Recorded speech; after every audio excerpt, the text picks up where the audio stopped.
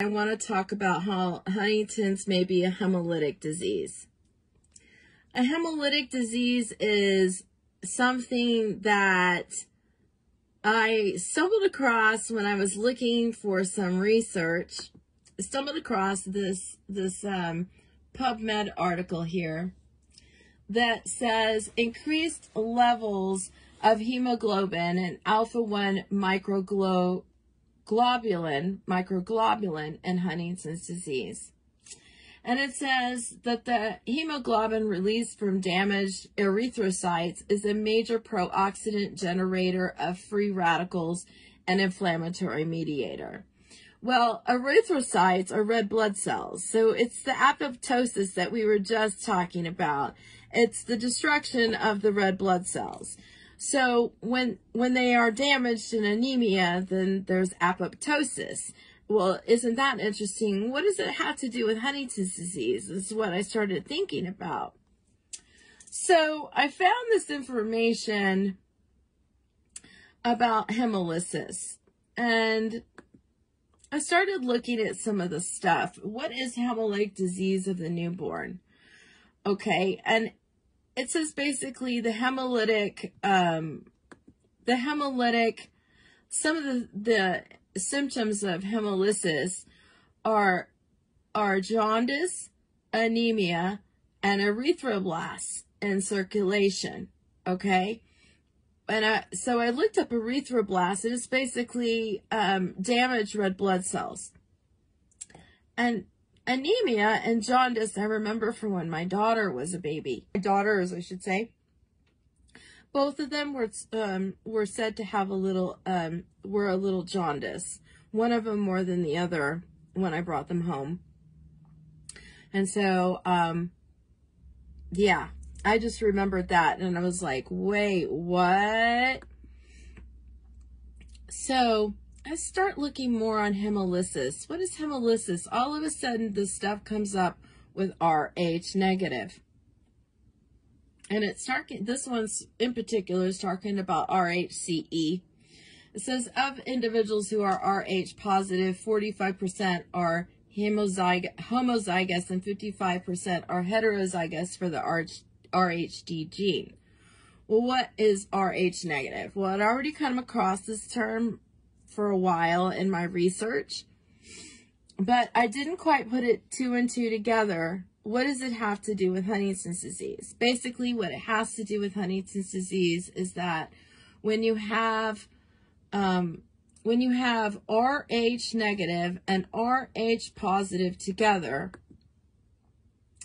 then that is hemolysis.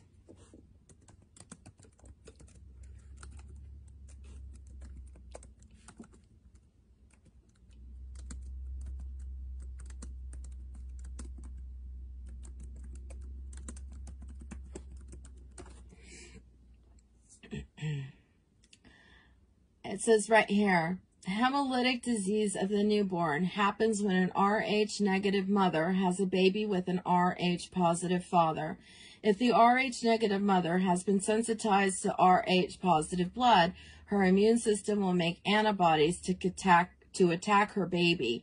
When the antibodies enter the baby's blood, they attack the red blood cells, and this causes them to break down, also known as erythro, erythroblasts. Sorry, eryth, erythro, yeah, erythroblasts. I'm not very good at pronouncing stuff, but I know what it means.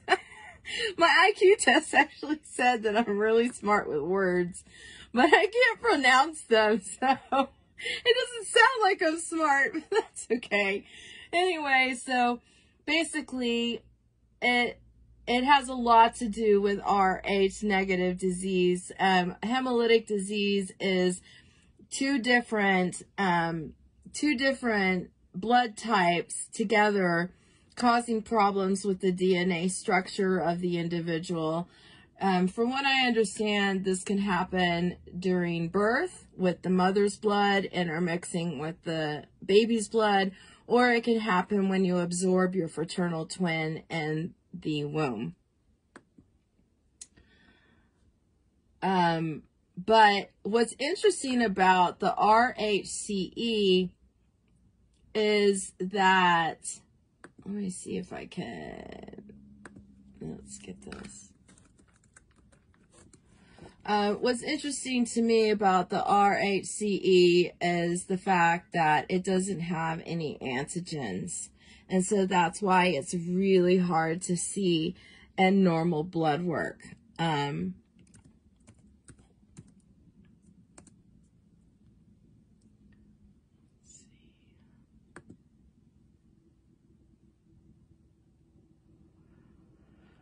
Okay, so it doesn't really um, show up in blood tests really easily. Um, a lot of times it will still show that you're positive even though you're RHCE because of the weird gluttonites. Um, some people don't understand how they should be, how they should look in a normal blood test. And if they tend to um, kind of agglutinate is what it's called, where it shows like lots of little spots and the blood instead of kind of a solid color, then that is um, a blood test that needs to be redone looking specifically for antigens. But a lot of a lot of blood testing places don't do that unless you're going to give blood and then they'll be able to tell you probably. So here I just wanted to go over um, the hemolysis research that I found that is regarding an enlarged spleen. Um, when you have autoimmune um, hemolysis, which is something that happens from birth, right? Because they say that Huntington's actually starts in the womb. And I believe that now full, full-heartedly. Um, from the research that I've done, but the hemolysis is really something that really needs to be talked about. And I don't see a lot of people talking about that when it comes to Huntington's disease. But the hemolysis and the RHCE is basically showing that we are we are weak D. We have weak RH negative blood inside of us that weak Rh negative blood has a lot to do with a lot. And um, it has to do with the fact why we have an autoimmune disease in the first place. Also, a lot of Rh negatives have autoimmune diseases anyway. So we kind of inherited that anyway. Um, and it's really all about understanding how nutrition can help you. And that's why I'm I'm going through this very detailed very confusing information for many.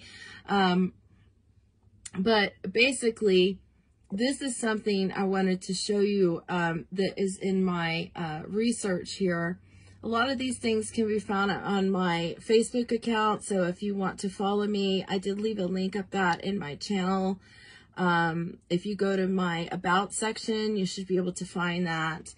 Um, or uh, just in my channel's um, cover photo in the tiny right hand corner, you'll see tiny letters. There'll be a little Facebook. You can click on that. So a recent study in the population of the island of Sardinia showed the association of a non-coding variant in the RHCE gene with an increased erythrocyte sedimentation rate. In other words, an increased erythrocyte um, rate. So the erythrocyte, uh, the sedimentation is just like a breakdown of the red blood cells. This suggests a possible causal effect of the polymorphism on inflammatory markers, despite not being able to find um, the coding region of that gene. And so this is why I believe that Huntington's is so challenging for researchers is because we are missing antigens. It makes sense, right? Because we have this mutated DNA and that it's mutated so strangely that we're missing certain antigens in order to make certain things work. Well, those missing antigens are what's important because it actually affects the spleen. So what happens in Huntington's disease is that the liver becomes enlarged. And then when the liver becomes enlarged, then the spleen becomes enlarged. And the spleen is right underneath, for women, underneath their left breast. It's like right underneath, like where the breast ends, basically. It's underneath your rib cage right there, and that's the spleen. So uh, when I talk a lot about why certain things work for the digestion, and um, it's mostly because I'm I'm making sure that everything that goes into my body is good for my spleen and good for my liver.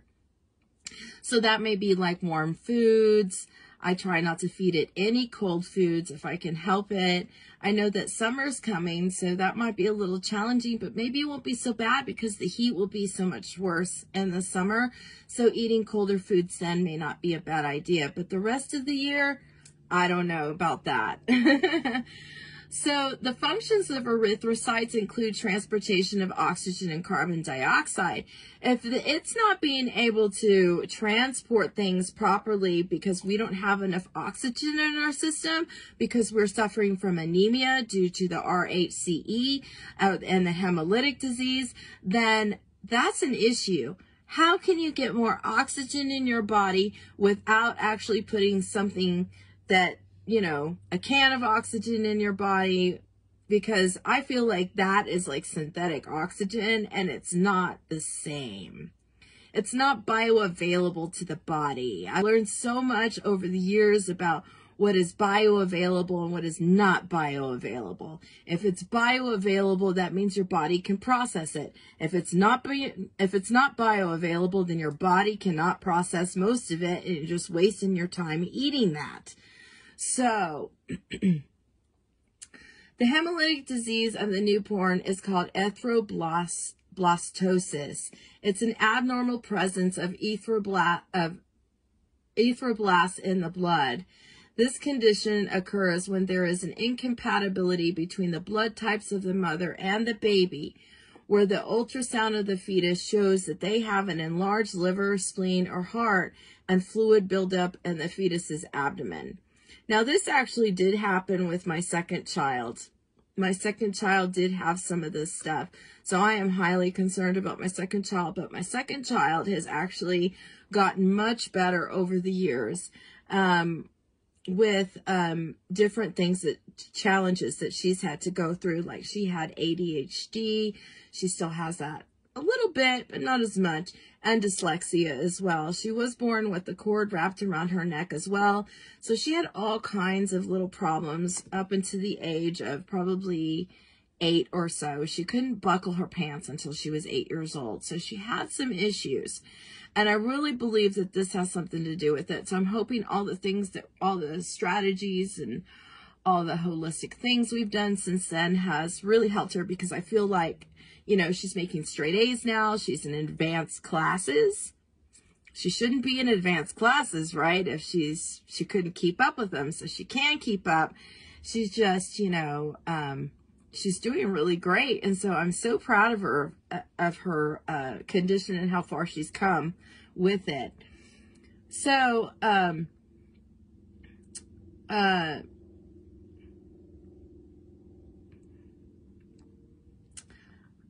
since Huntington's disease is um, is defective on chromosome beginning on chromosome 4 I just wanted to say go over all the things that have to do with an associated with an enlarged spleen.